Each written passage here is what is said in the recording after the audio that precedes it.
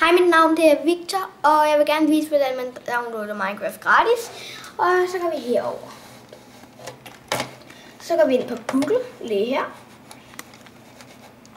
Så trykker vi på den, venter lidt og skriver nu.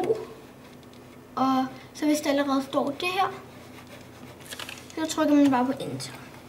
Og så, så trykker man på der, her der står Get Launcher. Klikker man på det. Så er der der, hvor der står Minecraft, det her. Og så trykker man på Get Launcher igen. Så kommer der, hvor der står Windows. Vi har en Windows computer, så vi trykker Download nu. Så venter vi.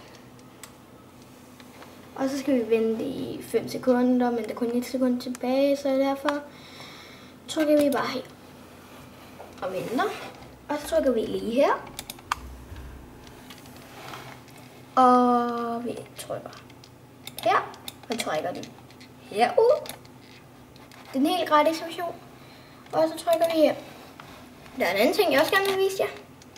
Vi dobbeltklikker på Minecraft. Hvad mindre der er dernede. Altså nederst der, hvor Google og Start også er.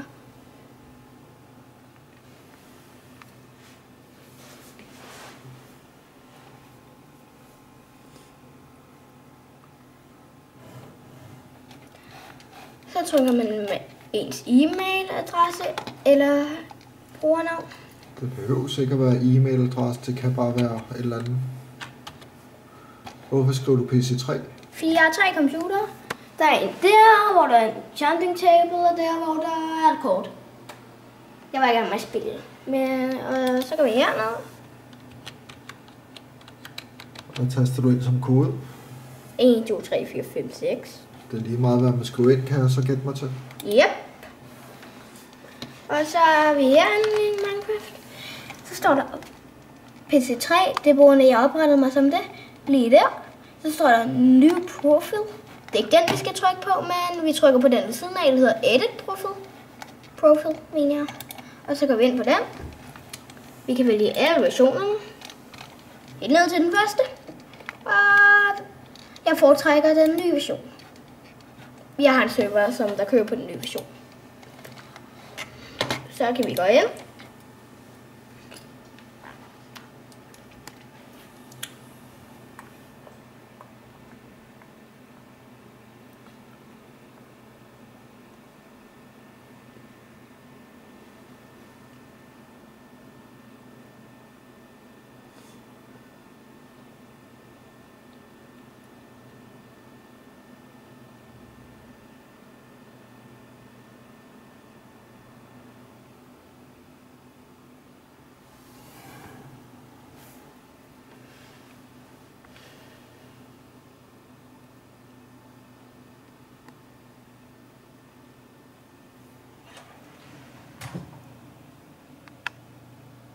Og så er der Minecraft, og den version, vi har valgt.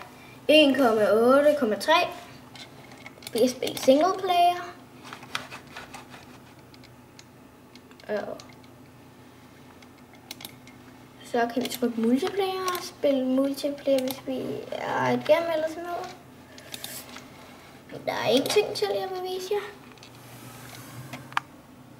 Jeg vil vise jer et procenttegn. Shift 5 app data og så procent igen. Og så trykker man på enter. Så kommer det herfra. Dobbeltklikker på Minecraft. Dobbeltklikker på Save.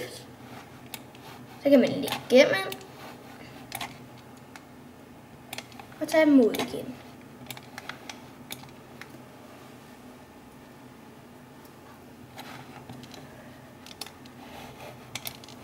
Og så tager vi den med.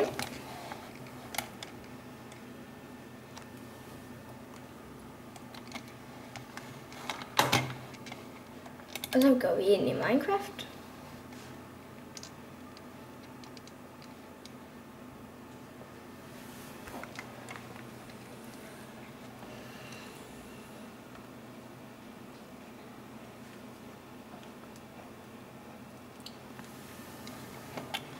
Trykker vi på play.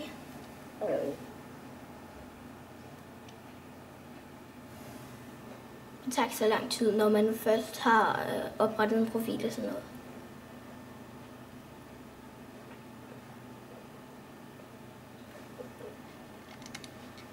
Så har jeg den gennem.